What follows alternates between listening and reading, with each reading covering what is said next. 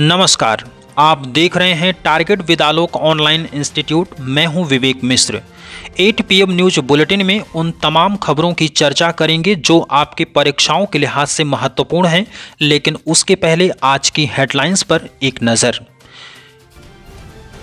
केंद्रीय खाद्य मंत्रालय ने राज्यों और केंद्र शासित प्रदेशों को जारी किया निर्देश, कहा राष्ट्रीय खाद्य सुरक्षा के तहत दिव्यांग जनों को भी करें शामिल। काला सागर में तुर्की को मिला अब तक का सबसे बड़ा प्राकृतिक भंडार। 2023 में करेगा इसका उत्पादन और उपयोग। अनुभव न होने पर चुनौतियों का भी करना पड़ेगा सामना। तो चलिए आज की बड़ी खबरों के साथ आज के बुलेटिन की शुरुआत करते हैं। केंद्रीय खाद्य मंत्रालय ने देश के सभी राज्यों और केंद्र शासित प्रदेशों को पत्र लिखकर सभी पात्र दिव्यांग जनों को खाद्य सुरक्षा अधिनियम 2013 के तहत शामिल करने को कहा है। दरअसल 23 अगस्त को केंद्रीय खाद्य मंत्रालय ने कहा कि सभी योग्य दिव्यांग जनों को सभी राज्य और केंद्र शासित प्रदेश को राष्ट्रीय खाद्य सुरक्षा कानून के तहत सब्सिडी वाले खाद्यान्न उपलब्ध कराए। आपको बता दें कि केंद्र सरकार राष्ट्रीय खाद्य सुरक्षा अधिनियम के तहत प्रत्येक लाभार्थी को सब्सिडी वाला एक रुपये से तीन रुपये प्रति किलोग्राम की दर से पाँच किलोग्राम खाद्यान्न दिया जाता है। मंत्रालय ने कहा कि राज्यों और केंद्र शासित प्रदेशों से कहा गया है कि राष्ट्रीय खाद्य सुरक्षा अधिनियम के तहत नहीं आने वाले योग्य दिव्यांग व्यक्तियों को नया राशन कार्ड जारी करें। जिन दिव्यांग जनों के पास राशन कार्ड नहीं है, उन्हें आत्मनिर्भर भारत पैकेज के तहत शामिल किया जाएगा। राष्ट्रीय खाद्य सुरक्षा अधिनियम 2013 की धारा 10 में अंत्योदय अन्न योजना के तहत व्यक्तियों की कवरेज का प्रावधान किया गया है, जो इस योजना के लिए लागू दिशा निर्देशों के अनुसार हो, जो संबंधित राज्य सरकार करे। उस प्रकार अन्य घरों को प्राथमिकता वाले घरों के रूप में कवर किया जाएगा। गौरतलब है कि भारत सरकार का आत्मनिर्भर भारत पैकेज ऐसे व्यक्तियों के लिए है जो राष्ट्रीय खाद्य सुरक्षा अधिनियम या किसी भी राज्य योजना के अंतर्गत नहीं आते। इसके अलावा केंद्र सरकार ने लॉकडाउन के दौरान गरीब जनता की समस्याओं का निराकरण करने के लिए प्रधानमंत्री गरीब कल्याण योजना की शुरुआत की गई थी। इसमें परिवार के हर सदस्य को पाँच किलो गेहूँ या चावल व एक किलो चने की दाल मुफ़्त दिया जाता है। तुर्की के राष्ट्रपति रजब तैयब इर्दुगान ने काला सागर क्षेत्र में अब तक के सबसे बड़े प्राकृतिक गैस की घोषणा की है। राष्ट्रपति इर्दुगान ने जानकारी देते हुए कहा कि फतेह नाम के ड्रिलिंग जहाज़ की मदद से खोजा गया यह गैस भंडार तकरीबन 320 अरब क्यूबिक मीटर का है। साल 2023 में तुर्की एक गणतांत्रिक देश के रूप में 100 वर्षों का सफ़र पूरा करने के मौके पर इस गैस भंडार का उपयोग करेगा। आपको बता दें कि यह गैस भंडार तुर्की के तट से करीब 100 नॉटिकल मील उत्तर में काला सागर के क्षेत्र में मौजूद है। यहाँ के ऊर्जा मंत्री ने बताया कि यह भंडार पानी के स्तर से 2100 मीटर की गहराई में स्थित है। यहाँ से गैस निकालने के लिए समुद्र की तली से तकरीबन 1400 मीटर नीचे तक ड्रिलिंग की जाएगी। इस उपलब्धि से तुर्की अपने को तेल निर्यातक देश के मामले में अग्रणी बनाना चाहता है। यह विशाल भंडार न सिर्फ़ तुर्की के लिए, बल्कि 2020 में वैश्विक स्तर पर अब तक का सबसे बड़ा गैस भंडार है। यह तुर्की की अर्थव्यवस्था को मज़बूत करने के साथ साथ तुर्की के ऊर्जा आयात बिल को भी कम करेगा। गौरतलब है कि साल 2019 में तुर्की का ऊर्जा आयात बिल 41 बिलियन अमेरिकी डॉलर तक पहुँच गया था।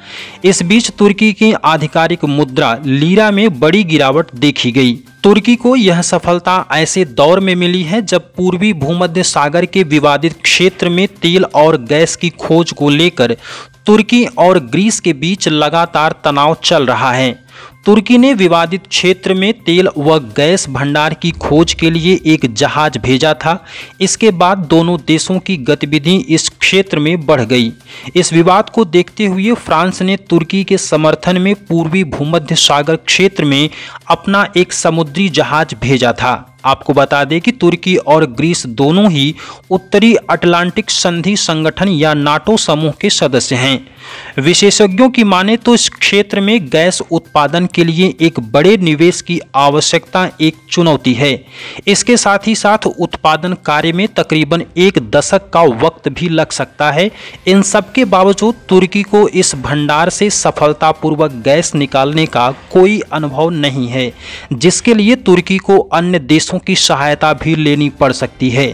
विशेषज्ञों की माने तो तुर्की की यह उपलब्धि इतनी बड़ी नहीं है कि तुर्की को ऊर्जा के क्षेत्र में पूरी तरह से आत्मनिर्भर बना दें। तुर्की का यह तेल भंडार मिस्र के जोहर गैस भंडार का एक तिहाई ही है।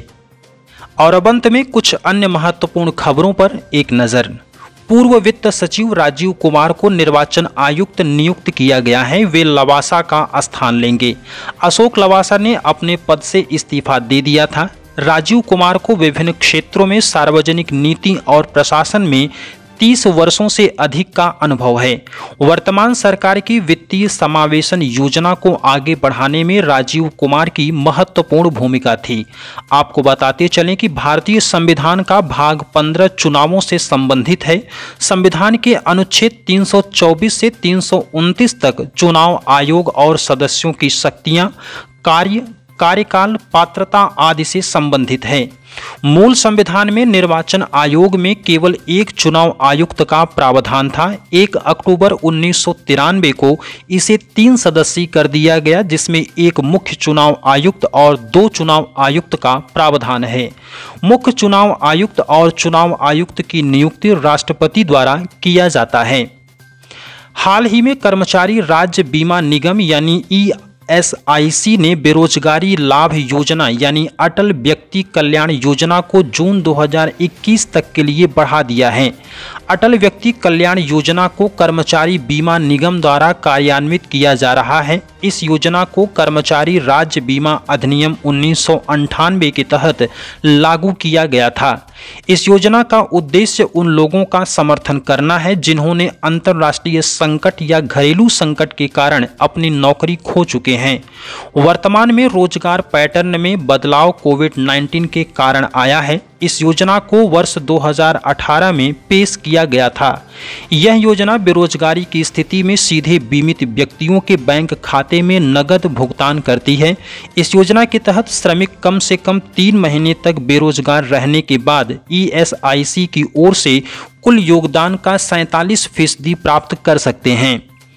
देश में खेलों का सर्वोच्च पुरस्कार राजीव गांधी खेल पुरस्कार के लिए क्रिकेटर रोहित शर्मा सहित पाँच नामों की घोषणा कर दिया गया। रोहित शर्मा के अलावा महिला पहलवान विनेश फोगाट, हॉकी कप्तान रानी रामपाल, टेबल टेनिस खिलाड़ी मनिका बत्रा और पैरा ओलंपिक टी मरियप्पन का नाम शामिल है।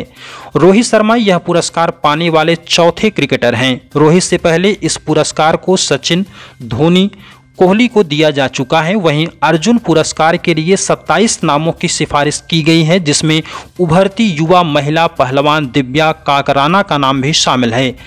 हॉकी कोच रमेश पठानिया समेत आठ प्रशिक्षकों को आजीवन योगदान के लिए द्रोणाचार्य पुरस्कार से सम्मानित किया जाएगा।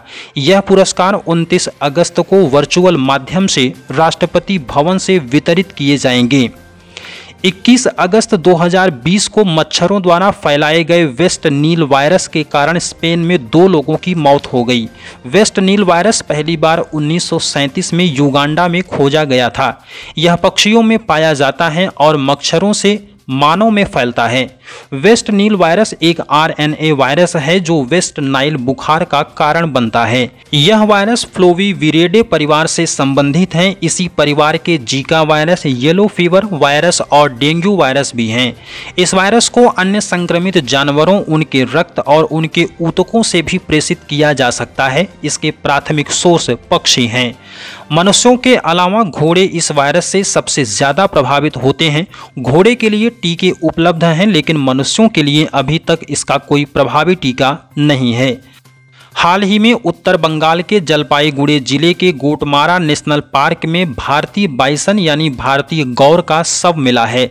इसका वैज्ञानिक नाम बोस गोरस है, जबकि स्थानीय नाम गौर है। यह मूल रूप से दक्षिण तथा दक्षिण पूर्व एशिया में पाए जाने वाले एक बड़ा काले लोम यानी बालों से ढका गोजातीय पशु है। वर्तमान समय में इसकी सबसे ज़्यादा आबादी भारत में पाई जाती है। वर्ष उन्नीस सौ छियासी से यह अंतर्राष्ट्रीय प्राकृतिक संरक्षण संघ यानी आईयूसीएन के रेड लिस्ट में शामिल है। गोटमारा नेशनल पार्क पश्चिम बंगाल के जलपाईगुड़ी ज़िले में अवस्थित है। यह पार्क मुख्य रूप से भारतीय गैंडे की आबादी के लिए जाना जाता है। अगस्त के दूसरे सप्ताह के दौरान भारत का विदेशी मुद्रा भंडार 2.93 बिलियन डॉलर के कमी के साथ 535.25 अरब डॉलर पर आ गया है। अब भारत विश्व में सर्वाधिक विदेशी मुद्रा भंडार वाले देशों की सूची में चौथे स्थान पर है। इस सूची में चीन पहले स्थान पर बना हुआ है।